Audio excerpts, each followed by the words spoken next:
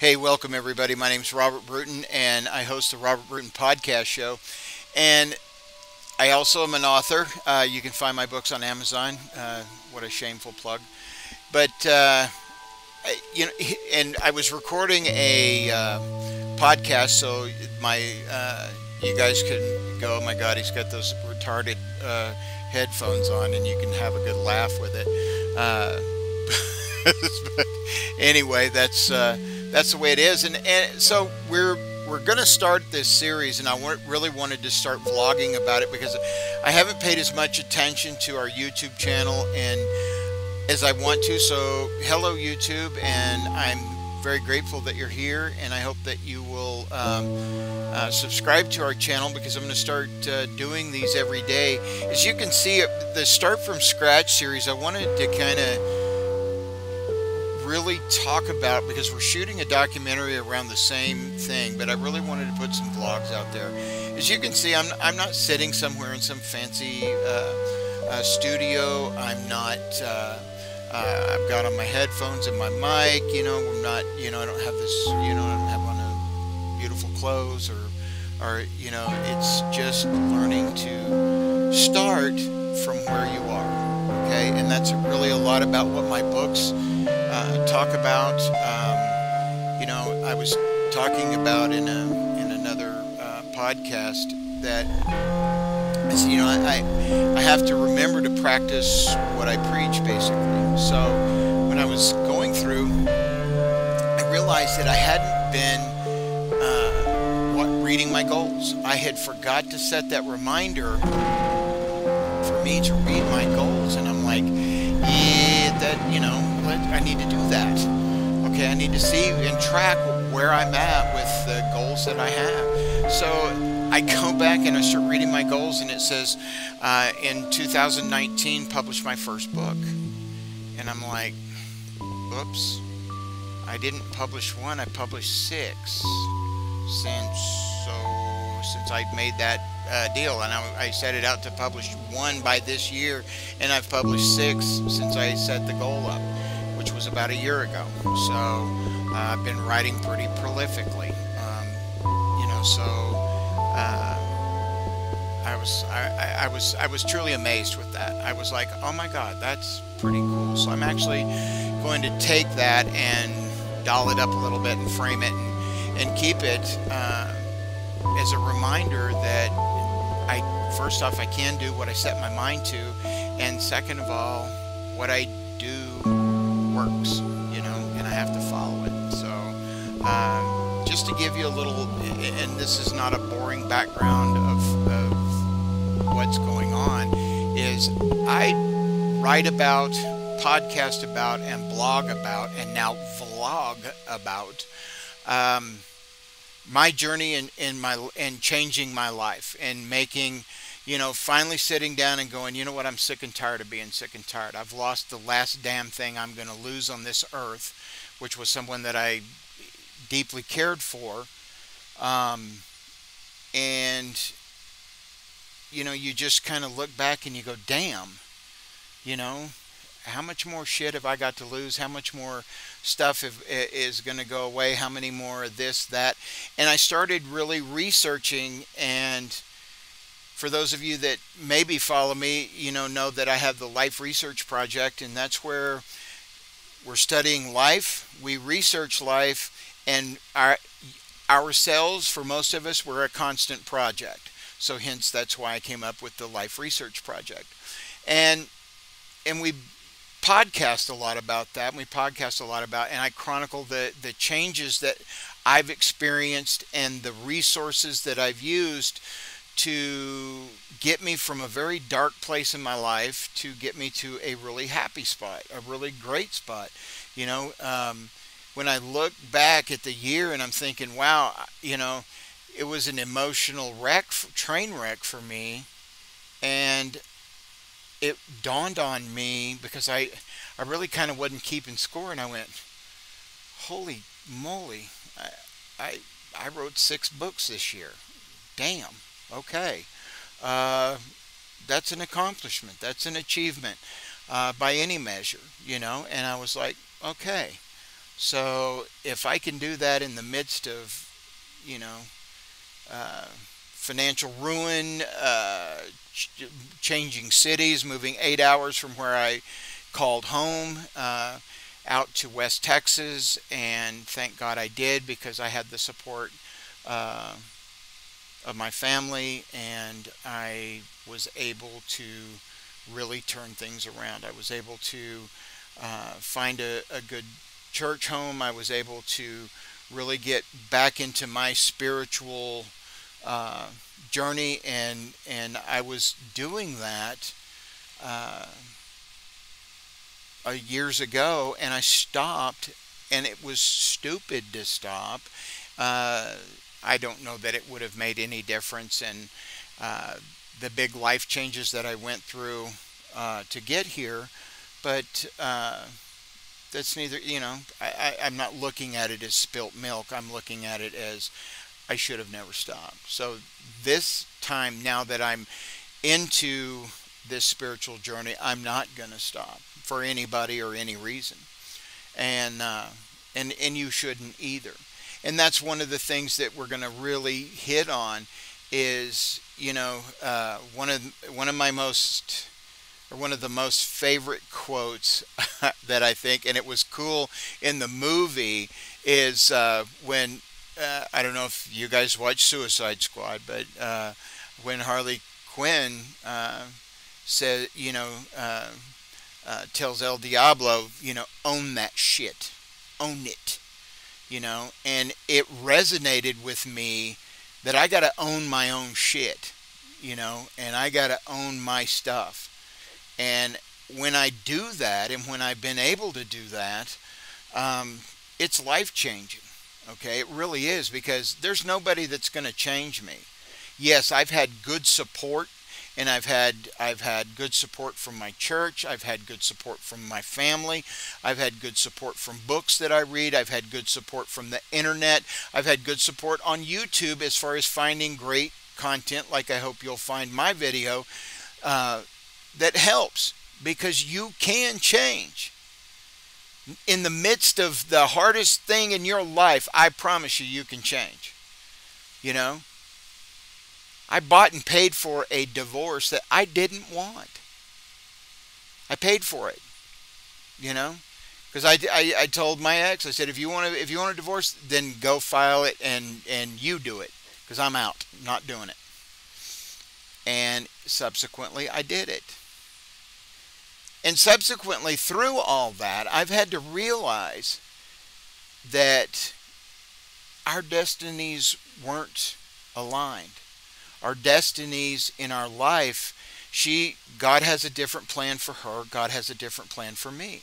Did it hurt? Yeah, it hurt like hell. But I'm through it. I understand. And so now I'm going to embrace what will come for me next? You know and and a lot of things in life uh, come to you when you are receptive to receive um, anything any sort of blessing okay? And uh, it took me a long long time to get there where i understand in fact it was just a month ago that i had this amazing moment where I really knew that God was there, that He was watching out for me, and that even though I had a mustard seed of faith, He was there. And if any of you read the Bible, you know that Jesus was saying that, that if you have a mustard seed of faith, you can move a mountain. And that's all I had.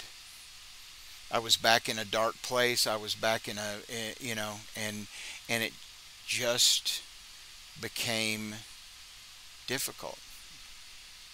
And then in the the absolute midst and depths of hell, I kept saying, "God has me. God has me. God has me," and there you have it. I I had something happen that um, made all the difference in the world in my life and just more than anything, let me know that God was there.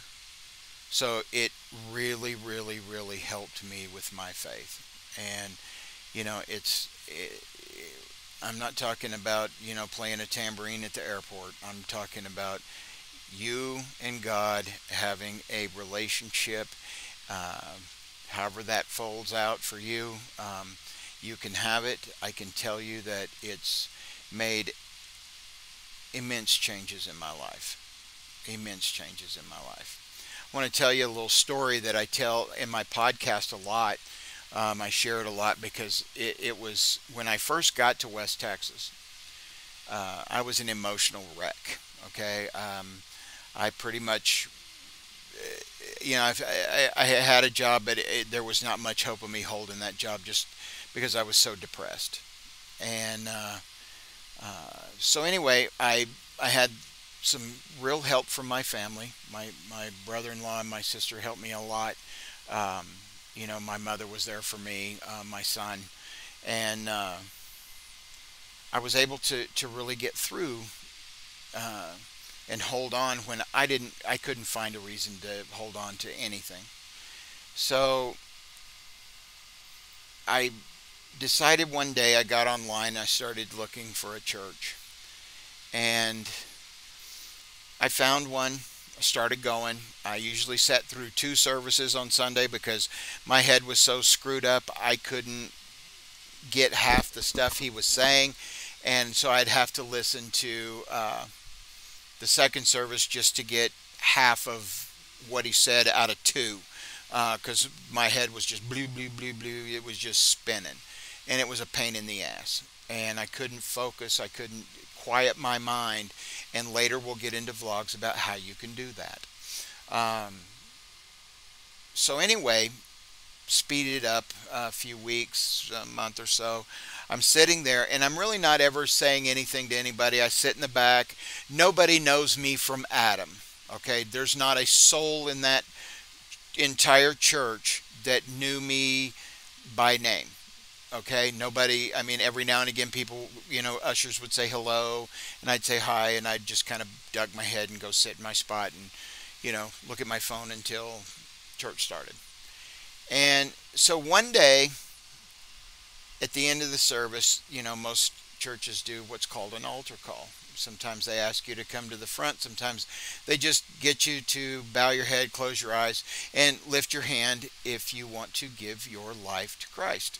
If you want to make a confession and, and say, I, I need God in my life. I need to walk with Jesus. And um, so for, for, years and years and years all that seemed like really stupid and foreign to me and i didn't understand it and i didn't understand that you know you can't really have a life that you want without having some spiritual awareness in your life having some spiritual connectedness uh, to a higher power and and and i choose to call god and so this one sunday morning you know he's calling and and so i raised my hand you know there's no you know, it's it's been a few Sundays, and so I finally raised my hand, and I and and you hear him say, "Thank you, sir." You can put your hand down. I put my hand down. Usher comes over, hands me a, a CD, "What to Do Next," and that was a really good CD. And so anyway, here's the here's the real rub to the story. So the I, everybody's standing there. Everybody's still standing up. The pastor starts walking across the stage, and he turns around and he goes, Sir, sir. And I'm sitting there going, Who the hell is he talking to? Sir. And I look and I realize that he's talking to me. And I, you know how you do? You go, Me? And he goes, Yes, yes, yes, you, sir. And he goes, I don't know why, but he said, God just told me, whatever you're doing creatively, keep doing it. Well, at that time, I was taking photographs, posting them online, posting them on places to sell my photographs. I was blogging, okay? Uh, I was writing articles for people, and I was doing creative things because I, I told myself when I got here, I'm going to do what I want to do, not what I have to do. Nobody, here's the thing nobody in that church knew who I was. I didn't wear a thing that says, hey, I'm Robert Bruton from Robert Bruton Show, or hey, I'm Robert Bruton from RobertBruton.com. I, I didn't have on anything that said that. Nobody knew me. I never said anything to anybody other than hello, good morning, and nice to see you too. Uh, and nobody that I knew went to that church. Yet, the pastor stopped in the service and told me that God told him to tell me to keep doing what I was doing creatively. Man, that was powerful. That was like, what the hell just happened? So, okay, so that gives me some glimmer of hope. All right. Then I go through some more stuff and some more stuff and some more stuff, you know, and it, and it, I'm up and down, up and down, up and down, up and down. It's just crazy, you know. But and and I was reading books, you know, Battlefield of the Mind and some other things that that helped me to understand. And it was through a YouTube video that had TD Jakes in it, where I was sitting there, and I and I, honestly, I was I was driving back to where I stay, and from my sister's, and I, I so I just put on a YouTube video, and it had TD Jakes on it, and I said, okay, well, let's see what Bishop Jakes has to say today. And anyway, he was sitting there, and I'll never forget this. You know, he, he, he was talking about you. You know, you're going to go through hell. The enemy is not going to let you go. You know, if you believe, if you're a Christian and you believe in in heaven and hell and all, you know, and the, and that there is a demon and there is an enemy that's going to attack you. Well, I was under they were lobbing mortar fire and I was I was they were on my position and I couldn't I, I couldn't see any hope. And then some he said something that just struck me. He said the reason you're getting attacked so hard is because the enemy is afraid of you. He's afraid of your power. He's about to lose you to what I call the good side and he's not going to play fair. He's going to remind you of every single solitary bad thing you've ever done in your life and is going to illuminate that in 4K color. In fact, some days it comes in 8K and they don't even have 8K cameras to film you yet.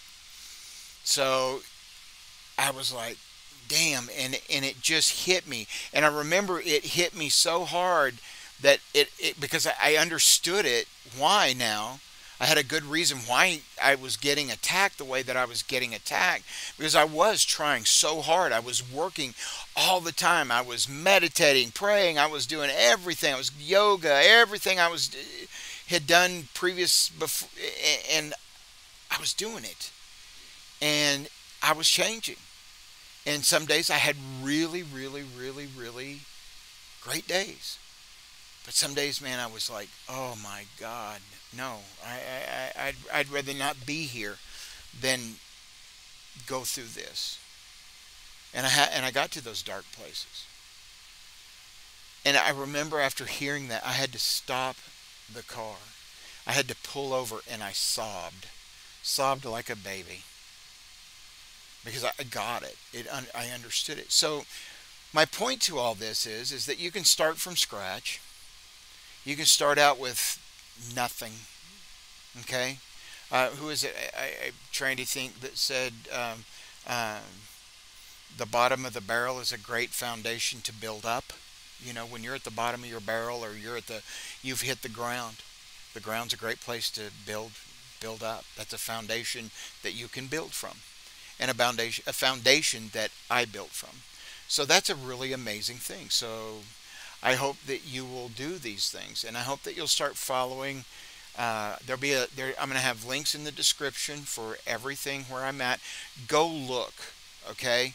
Don't just judge this video and say, "Well, this uh, what this bald-headed dude that wears a headset's got something to tell me." I've been through. I've gone through hell and back. I've made some amazing changes. I've done some things that I hope that I share with you that will help your journey go a little quicker, a little, and, and you'll know that you're not alone. that in the deepest depths of hell, we can find our way out. We can find our way back to life. Is my life exactly where I want it to be? Certainly not. Certainly not, but I am well on the way. Okay, do I have tough days where I want to give up? Sure. You know, I'm doing some things currently that I, I don't like doing. I don't like the people I'm dealing with. I don't like doing them. You know, but it's a stepping stone to my future. It is not my destiny. It is a stepping stone to get there. Plus, it teaches me patience. If I can't be totally happy where I am, how can I move on? How can I be given more if I can't handle what I got today?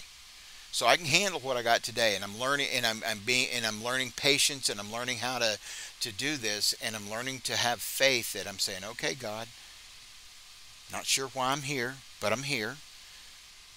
I'm grateful for the warm sunshine. I'm grateful for a place to shoot this vlog. I'm grateful that my phone's on. I'm grateful that my truck payment's made.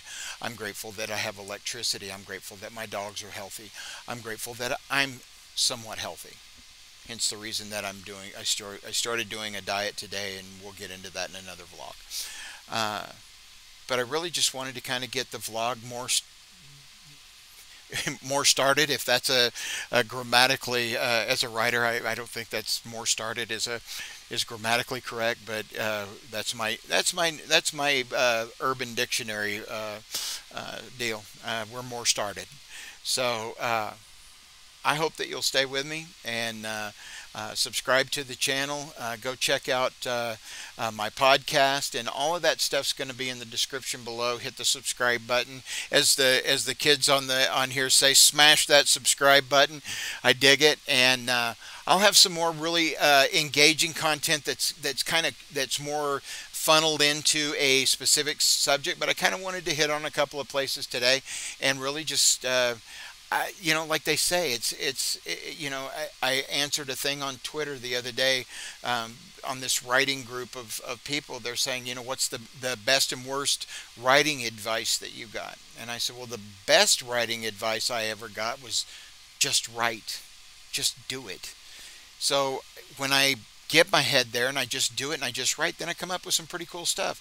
And I can almost and honestly say I come up with some crap, you know, but I get it out there and and and if people say it's crap then I'll take it down. If not then you know uh, there's an ass for every seat you know so uh, you'll you know sometimes I might think it's crap and somebody goes oh my god it changed my life. You have no idea. And uh,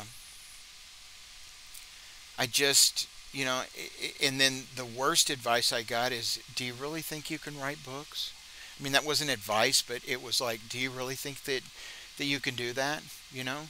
And my whole point to all of what I do too is the fact that I don't, you know, people have told you that you can't do things probably all your life. It's indoctrinated into us when we when we're kids, and and it's either knowingly or unknowingly people are are giving us limiting beliefs, and society is giving you limiting beliefs that you can't do something. Well, I say horse shit. You can do whatever the hell you want, and I'm and I'm living proof of that okay? Um, people who may have be critical of my books i will tell them i'm sorry i didn't see your book on amazon. I have six. So um, you know don't don't let somebody's limiting beliefs uh, steal your joy okay? My joy is not for sale not for someone who's offering me some horseshit well you know uh, well that's this and you know okay well, I can put a thousand more people here that say that it was pretty good stuff. So, you know, it, it's uh, it's a fun journey. It's a journey I hope that we can take together, and uh, it's amazing. You know, you you move off this way and you're thinking, oh crap, where am I? You know, I, I don't get it. And then all of a sudden, you're you're something happens. You go, holy crap, I'm here. You know, it's just like me finding out that, you know, when, when I was looking through my goals, I went, oh shit, I haven't, I haven't published one, but six. And no matter what happens, that's an achievement for me. Okay, that's something I hit a goal and I hit it in spades. and and I'm still writing. I'm still got lots of stuff that I'm putting out and, and lots of posts and articles and and that's me. That's my new life. That's what I want to do. And it gives me joy and pleasure. So thank you so much for tuning in. And uh, I'm going to try to get this where I'm doing it also with when I'm podcasting so that you guys can see uh, when I'm shooting a podcast and when I'm doing a vlog. So uh, we'll try to tie those all together and, and uh, make it kind of cool. But I wanted to kind of make these raw videos for a little while uh, just to show you that it, it, you don't stop waiting for the right moment. Stop waiting for the right gear. Stop waiting for the right studio. Stop waiting for all this shit. Because if you do that, you're going to stifle any kind of growth at all. You can't be more if you don't take steps forward. No matter what, the, you don't have to be playing on an AstroTurf field to, you know, does that make sense? You don't have to be shooting with a 4K $50,000 medium format camera to be a great photographer. You don't have to have some fancy car. You don't have to have fancy clothes. You don't have to be skinny. You don't have to be fat. You don't have to be because here's what it boils down to you can be any damn thing you want to be. But you know what you got to do? You got to start. You got to go.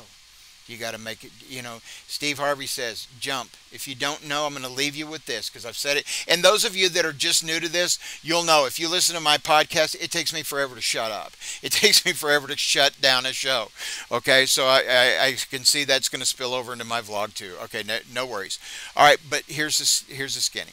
Steve Harvey has a, a video on YouTube. When you get done with this one, go to Jump. Steve Harvey Jump. Okay? That's what I did. I jumped. All right, guys. Well, my name is Robert Bruton, and this is the Robert Bruton Show, and it's all part of the Life Research Project. And as you get to know me and get to know more, you will understand everything that I'm talking about. All right, guys. Have a blessed day. Thanks.